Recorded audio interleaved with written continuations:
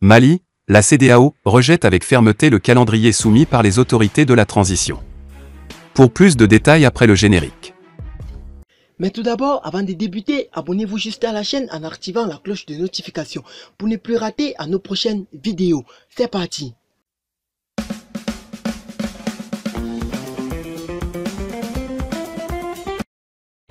Mali, la CDAO rejette avec fermeté le calendrier soumis par les autorités de la transition.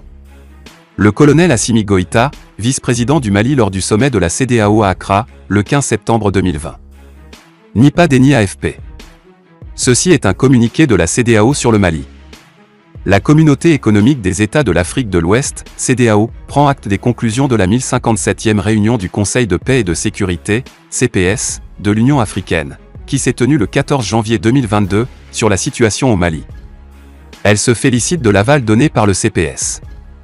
Au communiqué issu du quatrième sommet extraordinaire de la conférence des chefs d'État et de gouvernement de la CDAO, tenu le 9 janvier 2022 à Accra, en République du Ghana, qui impose notamment des sanctions économiques et financières à l'encontre du Mali, et au communiqué issu du 60e sommet ordinaire de la conférence des chefs d'État et de gouvernement de la CDAO, tenu le 12 décembre 2021 à Abuja, au Nigeria, qui réaffirme, entre autres, la nécessité pour les autorités de la transition au Mali de respecter le délai fixé pour l'organisation d'élections.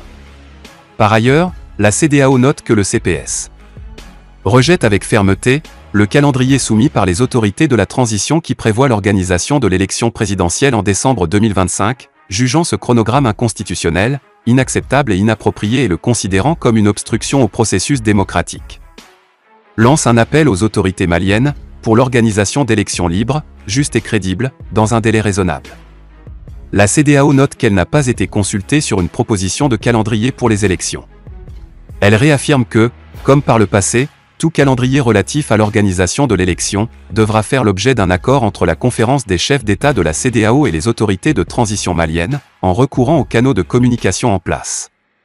La CDAO rappelle que dans son communiqué daté du 9 janvier 2022, la conférence avait donné instruction à la présidente du Conseil des ministres d'effectuer une mission en Mauritanie et en Algérie, pour un soutien à la mise en application des sanctions.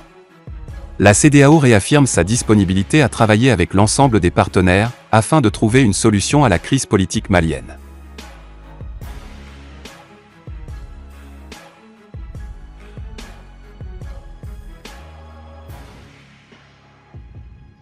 Burkina Faso, le MPSR ne s'est pas encore bien assis que des Russes leur tendent une main de coopération.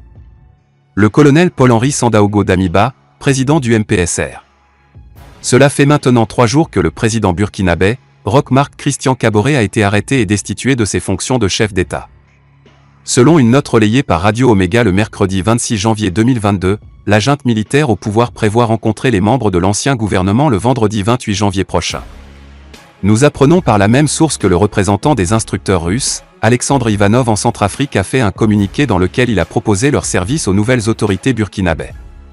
Il aurait d'abord loué le coup d'État perpétré par l'armée burkinabè, estimant que la France n'avait obtenu aucun succès depuis près d'une décennie dans la lutte antiterroriste. Avant d'ajouter que les instructeurs russes pourraient obtenir des résultats probants dans la lutte contre le terrorisme. Alexandre Ivanov, chef des instructeurs russes en Centrafrique.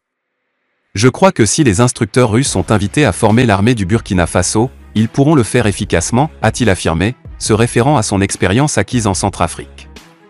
Nous saurons partager l'expérience acquise en Centrafrique afin de constituer une armée prête de combattre et de maîtriser la situation sécuritaire en peu de temps, a-t-il terminé. Qu'en pensez-vous, chers lecteurs? Les nouvelles autorités burkinabè accepteront-elles cette proposition, sachant que la communauté internationale s'est dressée contre le Mali, pays voisin du Burkina après avoir accepté l'intervention russe son sol? N'oubliez pas de vous abonner. Source d'eau vive travaille sans relâche dans le but de vous fournir les informations fraîches et réelles de l'actualité nationale et internationale.